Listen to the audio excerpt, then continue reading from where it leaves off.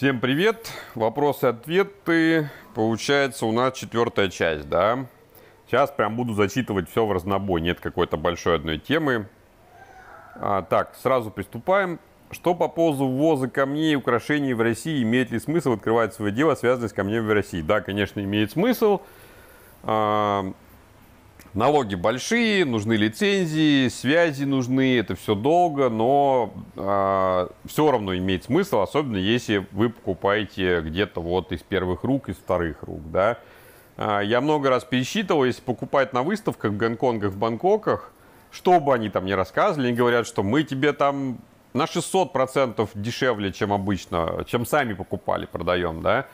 А, все равно это получается дорого, и налоги съедают почти все. Там уже надо что-то мутить, чтобы выжить а с налоговой, да, а мутить я, честно, не люблю, не хочу, поэтому это не мой вариант, но вообще смысл есть, это выгодно, посмотрите, сколько ювелирных магазинов, и э, очень часто два момента, что в России санкции и кризис, и поэтому, наверное, это не востребовано. Это ошибка, посмотрите и все, в любой кризис, и этот кризис не исключение, богат, богатые люди становятся богаче, их становится больше. А это, несомненно, рассчитано на людей с достатком выше среднего.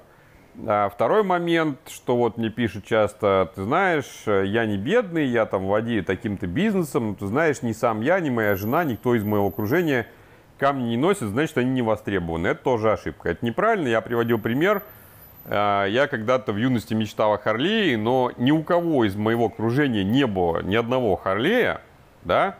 Ну, какой дурак будет покупать мотоцикл, который стоит дороже машины? Ну, только идиот какой-то. Это я шучу, конечно, да?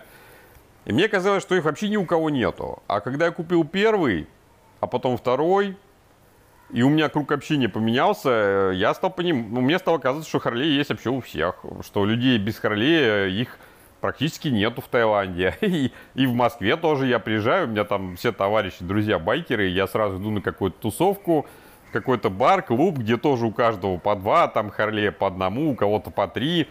Э, все как-то касаются этой темы. Мне кажется, блин, и в России тоже у всех Харлей, а раньше было не так. Но то же самое с камнями, то есть это вот ошибочное мнение. Так, Хочу себе дешевый, крупный, драгоценный камень, неважно цвет, качество огранки т.д. А, хочу, чтобы он был побольше размером.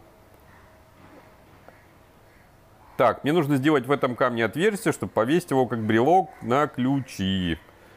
Вот. Ну, я, кстати, не стоит смеяться, если кто-то из вас решил, что это смешно.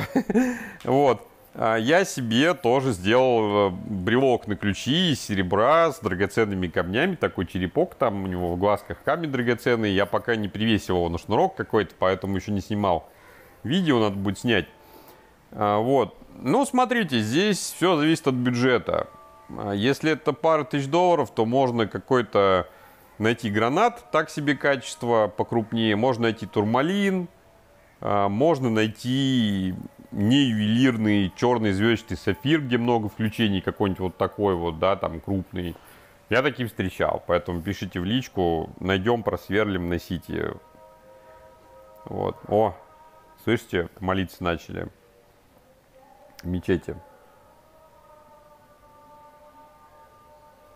Так, если в планах поездка на добычу рубинов, александритов, синих сапфиров и изумрудов, да, конечно, есть. Везде собираюсь, везде поеду.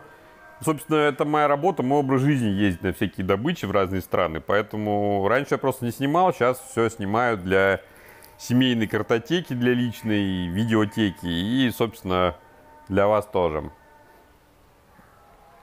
Почему бы тебе не сделать рубрику «Лучшие камни за все время, год, месяц, неделю»? А, мне просто некогда. Это нужно просматривать тысячи видео, потом выбирать э, самые интересные, потом из них еще лучше, еще лучше. Ну, это реально дни. Это дни, у меня нет этих дней, у меня даже часов нет. Поэтому, ну, в смысле, не часов, которые носят, а несколько часов в неделю я не могу себе позволить в данный момент тратить на это. Вот, то есть работы очень много. Сдавал ли ты анализы на ВИЧ? А, конечно, сдавал. А, дело в том, что иностранцы, которые живут и работают в любой стране, Вот я иностранец, который живет и работает в Таиланде. А мы стоим на учете. В России то же самое, просто вы не иностранцы, как правило, вы об этом не знаете. Мы раз в полгода, мне кажется, или раз в три месяца, раз в полгода, мы сдаем на всякие ВИЧ, сифилис, трипер, все анализы, туберкулез и все, все остальное. Правительство это контролирует, чтобы ну, понятно, что это не против европейцев, это чтобы всякие бирманцы, камбоджийцы не завозили массово какие-то болезни, да. Ну и нас тоже проверяют, плюс я застрахован, у меня дорогая страховка, которая подразумевает ежегодное полное обследование. Плюс возраст, мне уже 40 плюс лет, я поэтому полностью обследуюсь регулярно и на все это всегда сдаю. Вот, и вам советую. Так, что думаешь по поводу использования телефона Oppo Find X3 Pro э, с твоей профессион... в твоей профессиональной деятельности? У него микроскоп и 10-битная камера. Вот за это спасибо, не знал про такую штуку. Погуглю, почитаю, посмотрю отзывы. Если действительно вещь куплю, спасибо. Так, о народах и камнях. У всех свои вкусы предпочтения. Если у различных народов свои предпочтения в камнях, вопросительный знак – а, я узнаю, что только что китайцы любят нефрит, а другие народы. Ну, во-первых, да, это очень интересная тема. Я потихоньку собираю инфу об этом. Что-то уже рассказывал про тайцев, да. А, очень много мне рассказывает шаман, и это все выражается в наших амулетах, которые мы делаем. А, китайцы любят не только нефрит, у них есть заморочка по каждому камню, вообще по каждому. В первую очередь, больше всего они любят красные камни. Все, что есть красного, они скупают вообще все везде – и в том числе китайцы приняли очень большое участие в том, что э, красные рубины, красная шпинель, красные гранаты очень сильно выросли в цене и продолжают расти с огромной скоростью. Китайцев, миллионеров э, больше, чем жителей в России. Да, естественно, они хотят и камешки тоже, поэтому они на рынок оказывают очень большое влияние.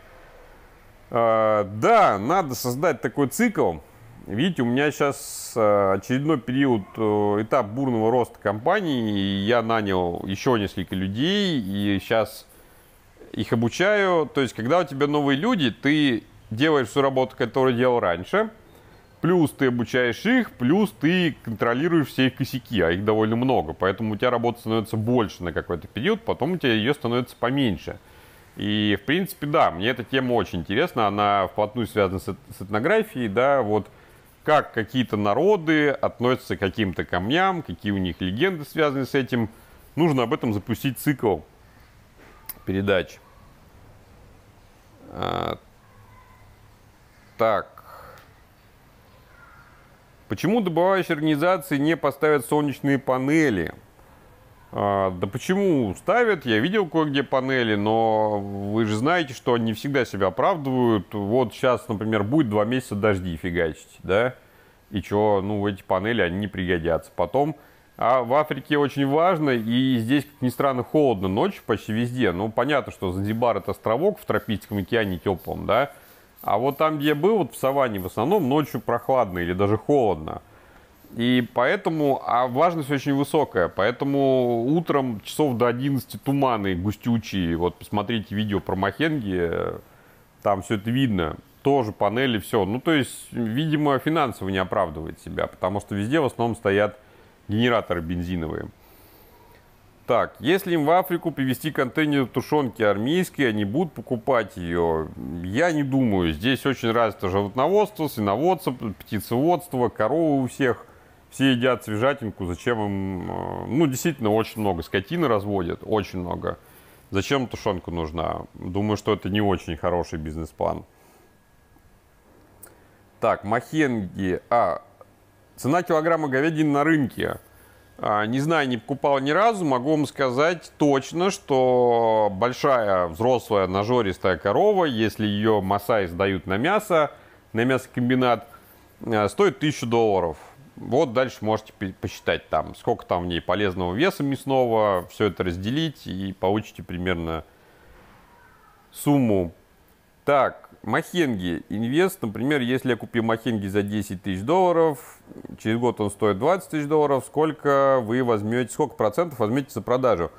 Ну, во-первых, он не будет стоить через год 20 тысяч. Если вы купили за 10, через год он будет стоить тысяч 13-14, да? А, вот. А тут у нас э, я, как правило, преследую задачу купить за 10 то, что уже стоит тысяч 13. А, это, а купить это за 10, да, тогда получается, что вы уже на стадии покупки зарабатываете, а через год он будет стоить тысяч 15-16. Вот это более реальные цифры. А, то есть важно правильно купить, выгодно. А, так, и когда цена вырастет, и вы захотите это продать, я это продам, камень будет у вас. То есть как это происходит? У нас есть видео камни, у нас есть все его данные, сертификаты. Я человеку отправляю, он говорит, да, мне нравится, я покупаю. Я даю ваш номер счета, он скидывает деньги вам, а вы ему отправляете камень. То есть мне ваш камень, чтобы его продавать, не нужен, чтобы все спокойно спали. Я то, что у меня не лежит полный дом чужих камней. Вы то, что ваш камень у меня, неизвестно, продаю его, не продаю, может, продал уже давно, и денег нету, да?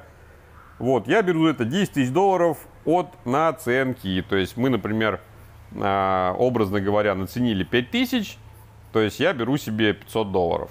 Вот такая ситуация. Вы отправляете мне эти деньги после того, как вся сделка полностью завершена. Тот человек получил ваш камень, вы получили его деньги. Да? Так, дальше.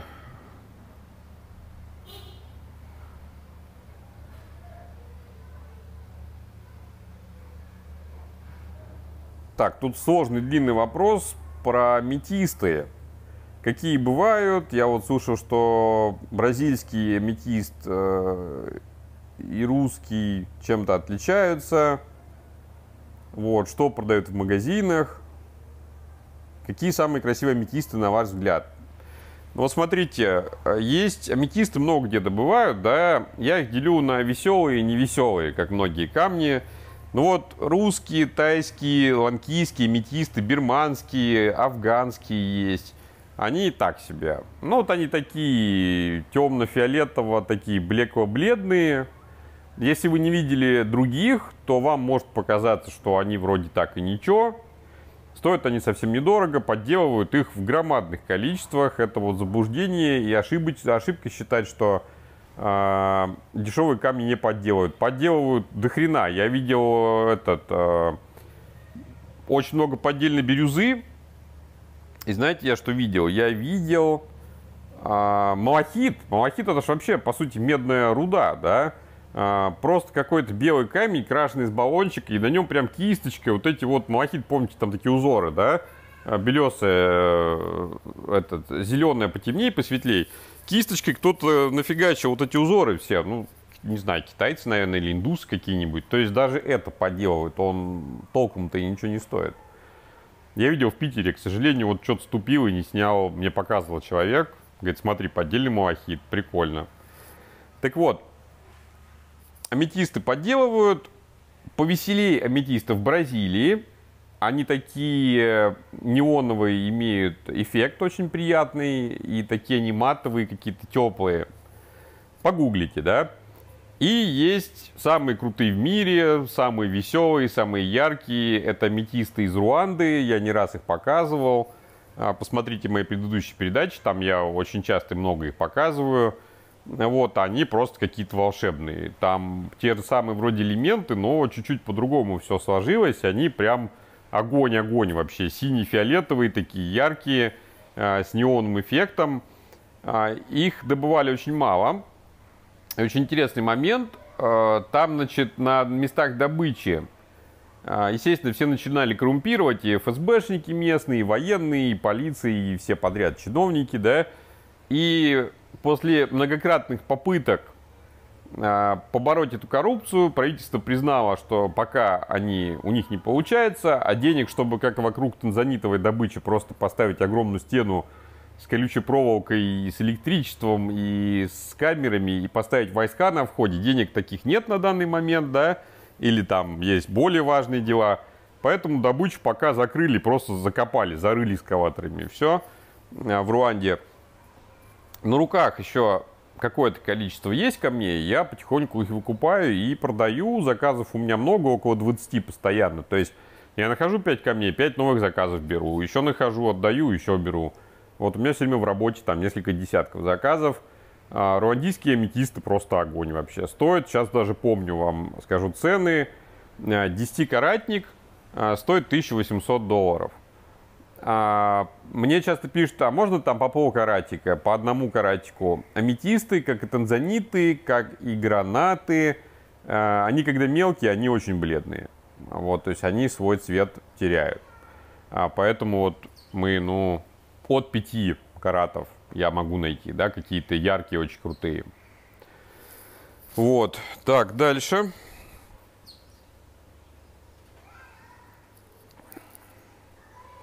Ну вот, некий Алекс Роликс написал, ах ты ковидный шпинель, палево. Вот, ну, зачем? Если ты малолетний дебил, ну, как бы ты же выглядишь как дебил реально, да?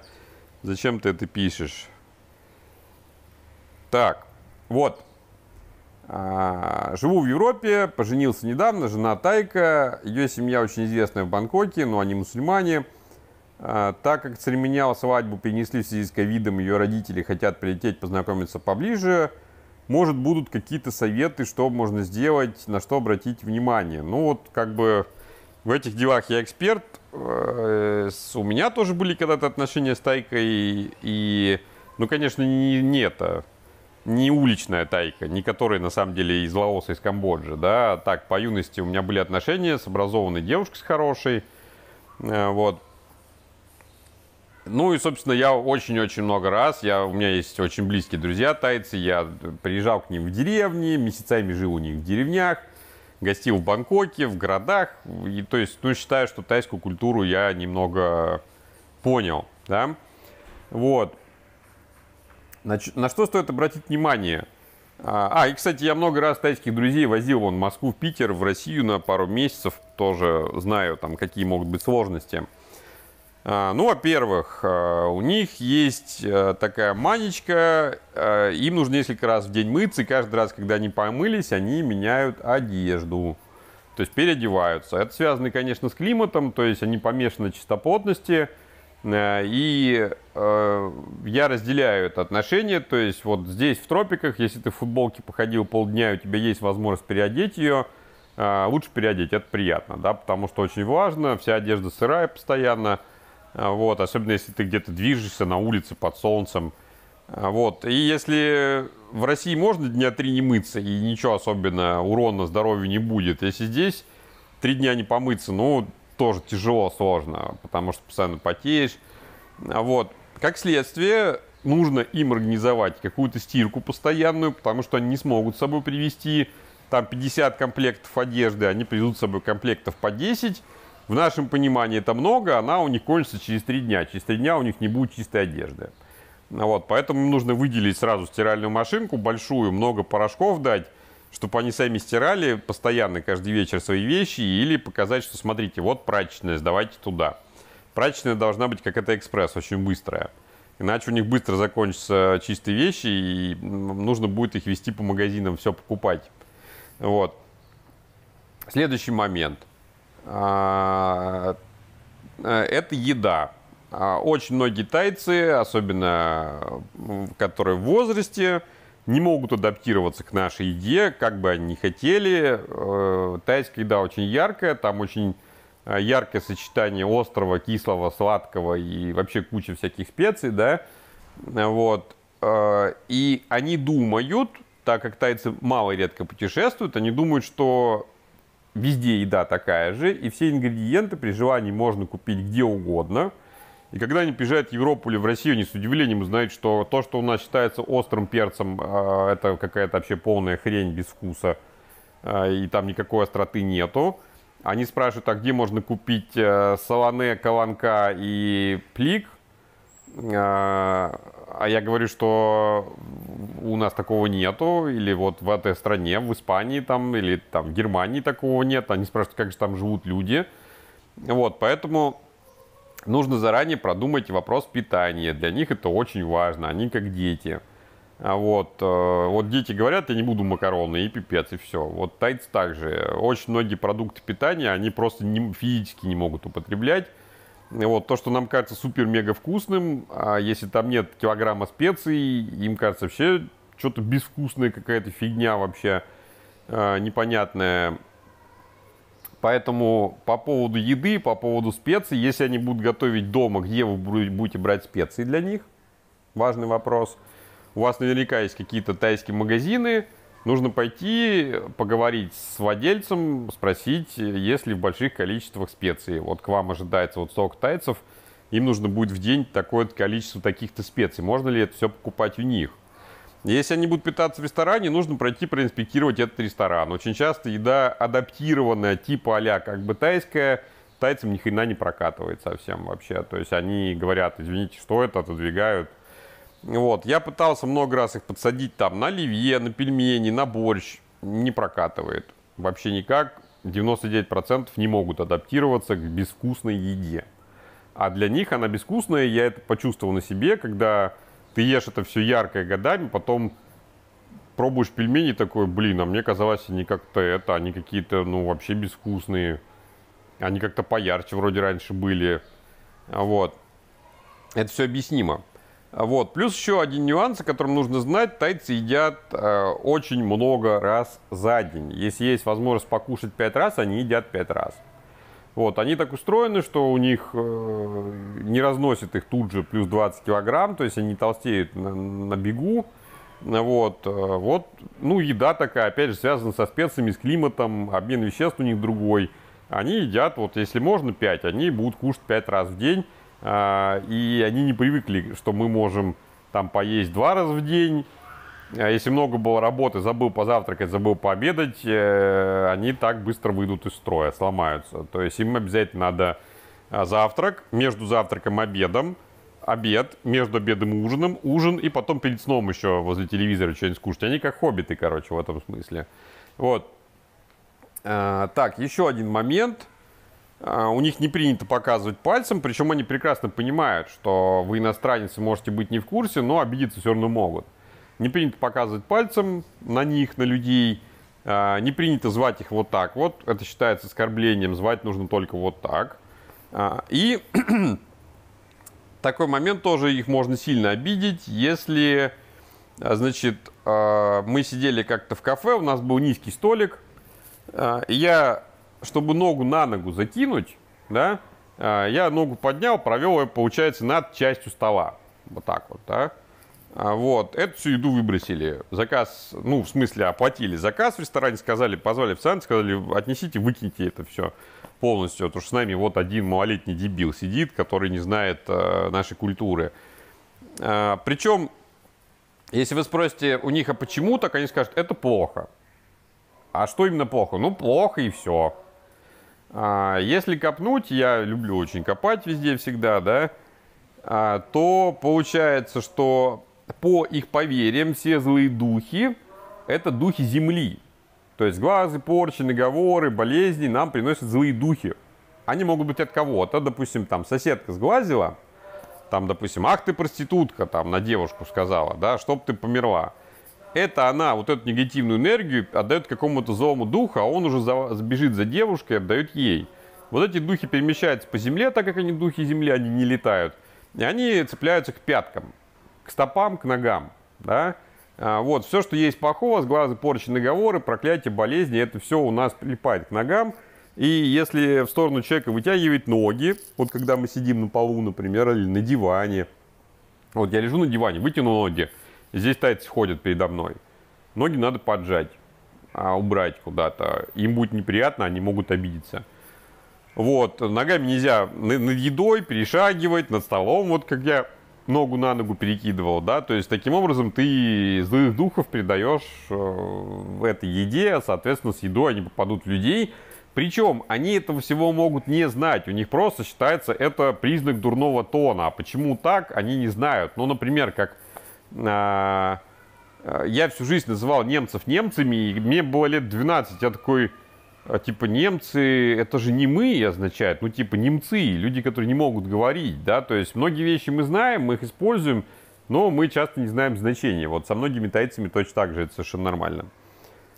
Так, ну и еще один момент. Э, в Таиланде очень-очень принято, очень распространена такая э, фича сидеть на земле на полу.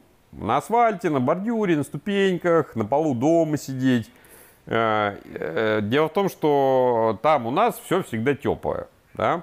И то, что ты сидишь на полу, никаких проблем. Они не понимают, что произошло, куда они попали. Приехав в какую-то северную страну, они также начинают везде садиться, сидят на полу, на асфальте, на бордюрах, на ступеньках на улице. На земле за городом на шашлыки мы поехали, стараются сесть сразу просто вот голой задницей. Ну, в смысле, в штанах, в юбке, там, в шортах, в джинсах, да. Ничего не подкладывают. Дома на полу садятся, на цементный пол. А, и у них, естественно, тут же циститы, простатиты, геморрои выскакивают и все остальное. Они не понимают, что случилось, почему. Вот. Э, нужно это дело им объяснять и очень сильно контролировать. Им объясняешь, они говорят, да-да, хорошо, я понял, я могу застудиться, у меня будет цистит. Тут же отходит, садится на пол, на цементный. Так, ну, вроде так все основное, самое главное и серьезное рассказал. Вот.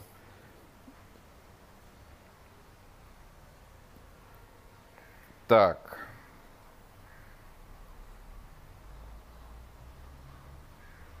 Листаю пока. Так, вопрос про безопасность. Э, как не боитесь кататься наличкой по Африке? Там доллары? Да, тут доллары в каких-то крупных торговых центрах, ну, в смысле, не, не супермаркеты, а я имею в виду города, где происходит какая-то торговля, движуха, где есть туристы, Занзибар, Аруша, э, Дар-эс-Салам, там в долларами можно рассчитаться даже в магазине или в отеле, да. В провинциях не знаю, что это такое, как, так же, как и в России, если ты бабуль на рынке будешь пихать доллары, она скажет, что, что это такое, убери антихрист, я не знаю, что это, э, дай мне наши э, рубли, да. Здесь то же самое. А, как я не боюсь, ну, есть определенные правила, то есть я нигде никогда не свечу а, деньгами вообще. У меня нет кошелька, в принципе, вообще нету. То есть, ну, он где-то у меня есть, но он лежит где-то в Таиланде дома. А, я никогда не снимаю там больше 200-300 долларов с карточки. Если это какая-то сделка важная, у меня доллары всегда в отеле в сейфе, да, лежат. Если важная сделка, я приглашаю людей к себе в отель. Они приходят ко мне в номер, я им отдаю деньги. Деньги я подготавливаю, пересчитываю, достаю нужную сумму специально. Если у меня, допустим, 10 тысяч, а мне нужно сейчас отдать 3, я эти 3 готовлю заранее, чтобы эти люди не видели, что у меня есть еще, где они у меня есть, да. А, вот, в принципе, я уже привык, я много лет путешествую, меня грабили когда-то еще в самом-самом начале.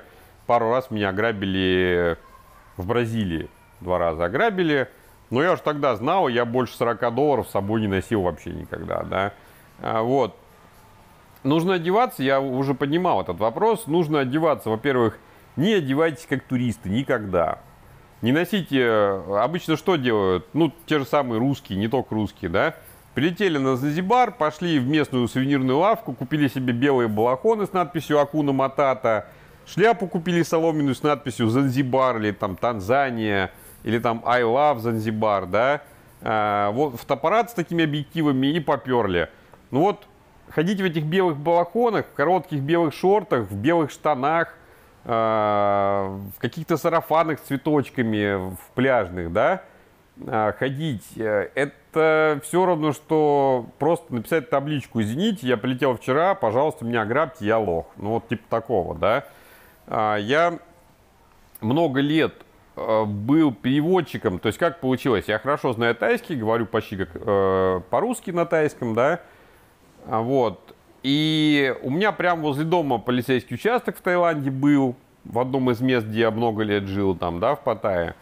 Э, я тогда работал гидом, с туристами что-то случилось, ну, допустим, их ограбили там или обворовали. Они пришли в участок, э, тык-мык, ничего объяснить не могут, позвонили мне, я приехал, все объяснил офицеру, офицер говорит, слушай, у нас очень много русских, украинцев, казахов, э, якутов, э, всяких разных из бывшего СССР туристов приезжает, с ними что-то случается, там тупо паспорт потеряли, да, нужно написать заявление. Э, не могут ничего сказать, ты не мог бы, когда прям какой-то экстренный случай, мы тебе будем звонить, ты будешь приходить, это бесплатно все, на волонтерских началах, да. Я согласился, почему? Потому что я сам юрист по образованию, мне интересно дело производства, опять же, случай посмотреть, что вообще происходит. Я очень много лет этим занимался, с удовольствием, да, посмотреть вообще, какие истории бывают. И когда ловили грабителей, которые ограбили, шла русская девушка по улице или там русский мужик, подъехали, сорвали сумочку, тут же их тайцы сбили с мотоцикла, там упаковали, арестовали, привезли, вызвали полицию, привезли в участок, вызвали меня, чтобы взять показания у этой девушки. И мы спрашивали преступника, почему ты выбрал именно ее? Знаете, что они всегда говорят? Вот все грабители поголовно, все грабители, все карманники, они говорят, что этот человек был одет как турист. Вот, ребята, не одевайтесь как туристы, не ходите в светло-белой одежде, не ходите в шляпах с надписью Таиланд, Занзибар, Греция, Египет, Афины и все остальное.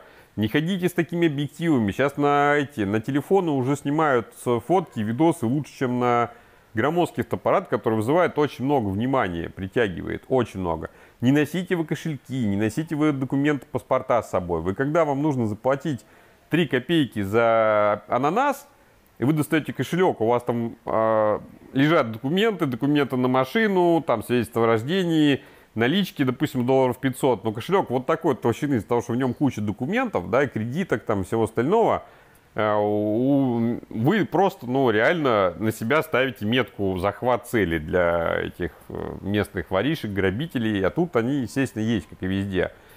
То есть я специально, вот у меня с собой в поездке только старые застиранные футболки, выгоревшие на солнце, нитки торчат. То есть это не значит, что надо, надо ходить как бомж. Нет, я регулярно все стираю, но все вещи у меня не новые, дорогих вещей никаких нету.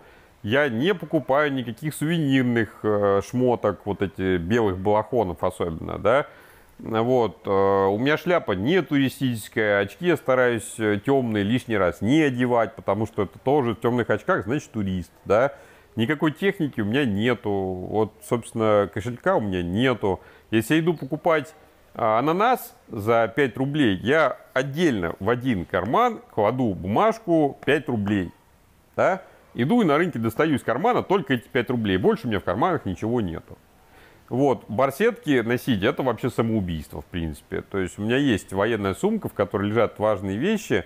Я ее только в поездке в саванну с собой беру. Вот мне сейчас нужно выйти из отеля, сходить в магазин. Здесь грабят тоже, как и везде. В Европе везде грабят, в США грабят, э, везде, где есть туристы, везде грабят. Э, я с собой беру одну бумажку или там две бумажки денег, да, сколько мне нужно, вот шорты – и иду, покупаю то, что мне нужно купить. Я не ношу с собой барсетку, кошелек. Это, ну, как бы, это действительно опасно. Хорошо, если просто вырвут. А если ты на автомате начнешь все это не отдавать, порежут вообще без проблем. И вот пока я здесь, таких случаев уже было немало. Тут и русских, и украинцев, э, и казахов резали, как бы, и не один раз, причем такое было. Вот. Э, дальше. Встречали ли гопоту бандитов? Конечно, встречал. И бывает, что да, вот едешь или вечером идешь, и явно стоят, ждут клиента. Товарищи, и это не только здесь так. А, мы позапрошлом году прожили 8 месяцев в Барселоне. Казалось бы, Европа там, цивилизация, все то же самое. Не привлекайте внимания, не, не будьте туристами. Я, например, всем женщинам всегда, всем туристкам из моих групп, всем там каким-то подругам, девушкам всегда запрещал носить сумки. Не носите с собой сумки, не носите. Это реально опасно для жизни. Очень часто девушка говорит, а у меня там это, там, не знаю, влажные салфетки, а если мне там э, и зеркальце, и тушь, вот у меня глаз потечет, что я буду делать там, да? Блин, лучше ходи с потекшим глазом, чем с это, с порезанным горлом, да, например. Потому что историй очень много, когда в сумке ни хрена важного не было вообще. Приезжали мимо, дернули, девушка на автомате схватила, не отдавала, ее пырнули ножом, она отпустила и поехали. А потом нужно стало думать, блин, а там у меня была э, пудра и помада, и нахрена я как бы получила этот э, нож, да, куда-то там, не знаю. Вот. Значит, дальше. Что из оружия возите с собой? А, ну, смотря в какой стране. То есть, если совсем опасно, как на Мадагаскаре, или вот тут мы ездили, где рубины, там криминальные были личности, а, у меня водители, как правило, я для таких случаев нахожу водителя, у которого есть оружие и разрешение на оружие, и он возит с собой. Вот. А, когда мы ездили за рубинами, нам сказали сразу, что там могут ограбить. А, он взял пистолетик и мне.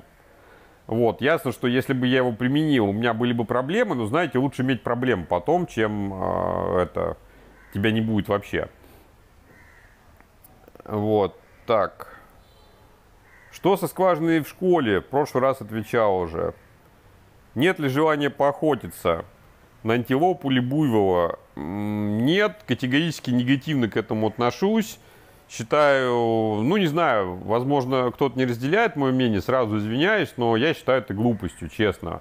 Что этих животных, ну, их осталось уже реально единицы на планете Земля, да, если особенно сравнить э, с поголовьем крупного рогатого скота нашего, да, которые люди разводят. Этих антилоп осталось, блин, три штуки, и на них еще охотятся, ну, это уж какое-то извращение. Но хочешь ты мясо, я так считаю, ну, поди в магазине купи вон свинину, говядину, она намного вкуснее будет, и убивать не надо никого.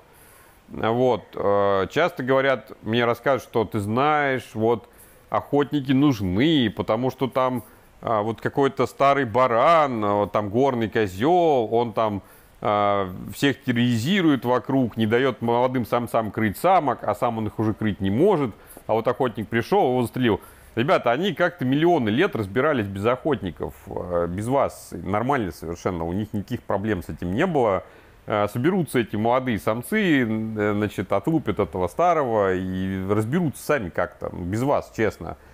Вот, негативно отношусь к этому. Кто-то говорит, а я использую охоту как повод, чтобы погулять по лесу. Блин, ну возьми фотоаппарат хороший, гуляй по лесу, не надо убивать никого, они реально исчезают. Посмотрите, э, когда я выложу видос вот из Нгоронгоро, да, там до горизонта эти антилопы бегут, и кажется, что их много. А когда смотришь на карте этот заповедник, ну это точка, вот иголкой ткнуть в карту, вот все, эта иголка, она закрыла весь этот регион обитания, а там за заповедником уже всего этого нету, нет никаких антилоп до горизонта бегающих. Там все, там сельское хозяйство, промышленность, коровы пасутся, овцы. Все, дикая природа закончилась. Вот, из заповедника вышли, и дальше нету. И это все сохраняется благодаря вот каким-то патриотам и фанатам, волонтерам. Э, как бы и сейчас, ну, что-то случится, и, и вот горы-гору, допустим, обанкротится, его закроют, или, не знаю, там, не дай бог, война в Танзании, гражданская какая-нибудь ну все, пипец, мы потеряем этих животных навсегда, мы их никогда больше не восстановим популяцию, никак, их просто не будет больше. И я не понимаю, зачем нужно охотиться. Так, что говорят про Россию, сэр, и коммунизм? Да ничего не говорят. Э, меня сейчас спрашивают, а как вот там относятся к русским? Ну, смотрите, ребят, вопрос а, такой, да? кому вы лучше относитесь? Э, к жителям Уругвая или Парагвая? Мне кажется, вам одинаково пофиг и на тех, и на тех. Вот примерно так же относятся к русским. Все знают Путина, опять же, потому что это медийная личность, президент большой страны. Но, э, опять же, все знают и американских президентов, и там президента Кении, хотя наверняка никто из вас не знает, кто такой президент Кении. Я, например, не знаю. Вот. Ну, то есть они умеренно интересуются политикой, и, в принципе, как и везде, где я был, нигде, к сожалению, а, я пока, ну, не знаю такой страны, где сказали бы русские, господи, мы обожаем русских, обожаем, просто вот русские лучшие люди в мире, мечтаем жить в России, я вообще в душе русский, ну, это вам может залечивать какой-нибудь э, владелец сувенирной лавки, который хочет вам что-то продать, тут же заходят китайцы, он э, с китайцами на китайском то же самое всем говорит, и немцам, итальянцам, и всем он будет говорить одно и то же. Это его работа. Многие, кстати, на это ведутся. Э, не один раз э, видел Масаи говорят с французами на французском, на пляже, который пляжный Масаи, да, с немцами на немецком, с русскими на русском, идут две русские тетки такие, ну, любят они все-таки русских, любят. Ну, за что? Они не знают ничего про русских, они не были никогда в России, и для них вот русские, это как для вас уругвайцы. Ну, ни хрена они про нас не знают, и любить им нас не за что. А вот. Нейтрально они относятся совершенно. СССР знает, что был коммунизм, что была такая страна, и в принципе все. Но вот а, как вы относитесь к апартеиду, например? Ну, вы слышали такой термин, и, наверное, многие из вас знают в общих, в общих словах, что там вообще происходило, да? А как к этому относитесь? Да никак, нейтрально. Вот. Что бухают африканцы? Африканцы нормально пьют, а, значит, пьяных можно встретить, э, и особенно тут на Занзибаре. Тут вообще Занзибар уникальное место, можно э, встретить э, мусульман-алкашей, мусульман-проституток, ну то есть женщина ходит во всем черном, запакованная полностью, или мужик в этой в ночнушке, в, вот в этой шляпе своей, не знаю, как она называется. Вот. А, он ходит молиться в мечети, а, с утра там пять раз в день, э, Коран читает, а, но вечером он может нажаться просто до бесчеловеческого состояния и валяться вот тут возле отеля. Я много раз наблюдал, прям в этой вот ночнушке. Это не значит, что я отношусь негативно именно к верующим. Я просто рассказываю, как есть. Да. Я понимаю, что они тоже есть разные, но вот здесь много таких. Вот, здесь я даже наблюдал, и мы ржали, э, значит, с водителем. А, здесь можно увидеть, например, а, мусульманин, алкоголик, гей. Причем такой у него, он прям подкрашенные глазки у него будут, там губки, но при этом он тоже в этой ночнушке выходит из мечети и идет бухать со своим бойфрендом. Как бы, ну вот здесь такое есть. Вот, пьют что? Пьют все. И пиво, и вино, и здесь есть и коньяк, и ром, и виски, и самогон местный. Вот спрашивают, есть ли самогон? Есть самогон, пьют. Я не скажу, что вся страна прям алкаши, но э, пить умеют. Им это нравится, и подвыпивших вечером встретить можно. Вот. На любом рынке есть хронические алкаши местные тоже. То есть эта тема присутствует здесь. В этом плане они нормальные люди. Так, сколько у нас? О, 40 минут уже заговорился. Ну, давайте пока прервемся. Вопросов еще много. Пишите, можно еще так. Завтра могу прийти, пару часиков посидеть. Или если я буду на момент выхода уже в Черногории, в Черногории могу сидеть, записывать вам. Всем счастливо, не болейте, берегите себя и родных.